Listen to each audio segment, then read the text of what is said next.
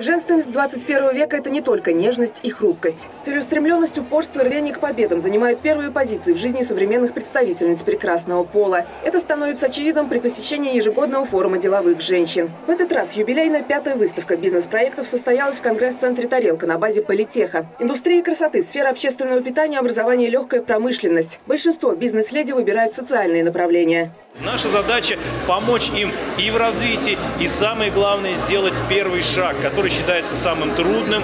И по всем э, опросам экспертов э, именно вот это как раз и является главным препятствием на приход в бизнес э, женщин.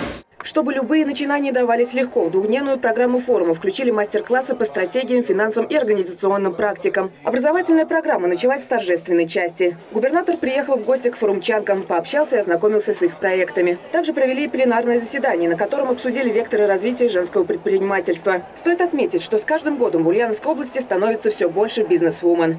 Я очень рад, что прекрасная половина нашего региона не только идет с высоко поднятой головой по этому пути, но и в полном объеме реализует себя. Свыше половины малого и среднего предпринимательства в нашем регионе представляете именно вы. Глава региона наградил самых успешных и пробивных женщин нашего края. Участницы конкурса лучших проектов получили хрустальные статуэтки и букеты цветов. Ольга Столетова владеет швейным ателье уже 12 лет. Все начиналось с домашних заказов. Далее Ольга начала развиваться и посещать бизнес-тренинги. В том числе она в четвертый раз участвует в деловом форуме. Обучение и знакомство с новыми деловыми партнерами дали результаты. Теперь у Ольги есть просторный цех, в котором работают три швеи. Ателье специализируется на индивидуальном пошиве одежды и сценических костюмов. На данный момент открыто производство спортивных и классических моделей. С чего начались вот именно массовые продажи? То есть э, то, что мы начали отшивать э, капсульные коллекции, мы их выставляли просто в бутике, либо я у себя в интернете. В связи с пандемией мы немножко сели.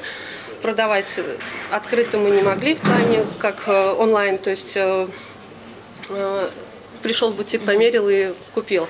Мы вышли в соцсети, мы вышли в интернет, и, соответственно, у нас поток уже вырос. До перехода в интернет это ателье выпускало 30 единиц продукции в месяц. Сейчас цифра выросла до 150. Вещи покупают не только ульяновцы, но и жители других городов. Ольга планирует развиваться и дальше. Для более оборотистой торговли она хочет выйти на платформы Wildberries, Озон и Ламода. Виктория Черкова, Герман Баранов, Улправда ТВ.